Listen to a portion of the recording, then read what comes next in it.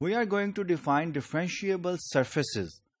But before going to define the differentiable surfaces, let me recall you something. The double integrals in R2 could be considered as finding the area of certain region. Okay? अगर आपका function F of X Y उसको मैं one ले लूं तो आपकी domain जो है उसी की पार्टीशनिंग होगी ना एफ ऑफ एक्स वाई अगर मैं वन ले लूं आर टू में एग्जांपल इसलिए ले रहा हूं because you can easily realise that example तो डबल इंटेग्रल जो है या फिर जो function of several variable such that F of X Y equals one जो हमने डिफाइन किया है तो integral over the region R जो है, वो एरिया दे देगा।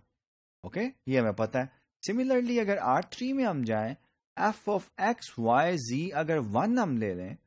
तो जिस रीजन के ऊपर हम इंटीग्रेट कर रहे हैं तो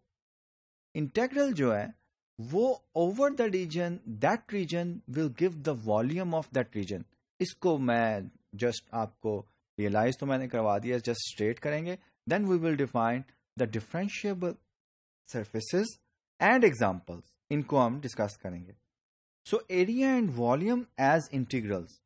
if S is a bounded subset of Rn and the integral over the surface S, the set which is bounded, with integrand f equals 1 exist, ये exist करेगा, we call integral S dx the content also area in case of n equals 2 or volume in case of n equals 3 of S and denoted by V of S जो है ये हम denote करें thus V of S equals integral over the bounded set S dx ये हमारा हो गया we have a theorem which states that suppose that f is bounded on a bounded set S and continuous except on a subset E of S with zero content. अब आप यहां पे देखें यहां पे S जो है is not necessarily rectangle S जो है ये रेक्टेंगल होना जरूरी नहीं है अंडर दीज कंडीशन कि F बाउंडेड हो on the bounded set and continuous except on a subset E ऑफ़ S विद ज़ीरो कंटेंट यानी कि S का कोई सबसेट हो सकता है, जिस पे ये कैसा सबसेट है, जिस पे एफ़ जो है वो कंटिन्यूस ना हो except that set on the set S F is continuous suppose also that delta S जो कि बाउंड्री हम डिनोट करते हैं एस की बाउंड्री से has zero content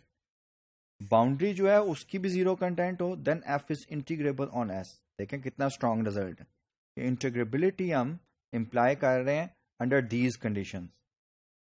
let's define the differentiable surfaces और इसकी एक एग्जांपल भी करेंगे I think a differentiable surface S in R N N greater than one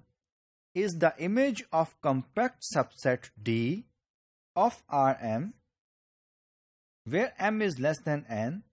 under a continuously differentiable transformation G Rm to Rn if m equals 1 S is called a differentiable curve F को हम क्या कहेंगे differentiable curve है so this is how we define the differentiable surface in R N so whenever we are given a surface in R two let say और are three we are हम एक mapping जो continuously differentiable mapping हो function हो, उसको हम निकाला करेंगे, जिसका इमेज अंडर दैट मैपिंग जो है, वो आर एन का गिवन सरफेस होगा। ठीक है? Let's do some example the circle is given by this one ये F of X Y R two में हमारे पास एक कर्व है। This curve circle is a differentiable curve in R two because we must have defined a function G from R M to R two अब M जो है that should be less than R two less than or equals to R2 since it is the image of D under the continuously differentiable transformation M should be less than 2 तो मुझे नजर आ रहा है यहाँ पे R की power क्या है 1 defined by this thing X G equals G तो जी मेरा फ़ंक्शन जो है जी आर से आर टू पे for that particular surface in R two जो कि कर्व है, मुझे सर्कल का पता है is defined by this one this transformation this transformation is continuously differentiable transformation so I will immediately conclude that this curve in R two is differentiable surface जो कि in fact एक कर्व है are two में है. Curve ही होगा surface तो नहीं होगी the sphere this sphere is also differentiable curve in R3 since it is the image of that set